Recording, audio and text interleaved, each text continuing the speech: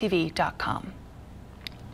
A man is facing charges as police accuse him of supplying a gun to a teenager.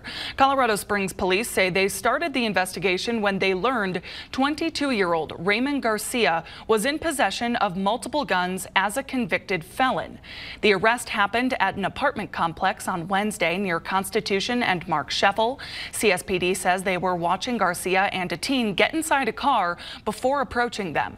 That's when Garcia tried to get away and crashed a car into a parked vehicle. Both of the people tried to get away but were quickly arrested.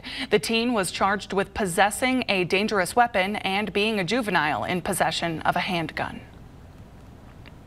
The U.S. Supreme Court is siding with a small town in Oregon when it comes to civil punishments on those experiencing homelessness. The court ruled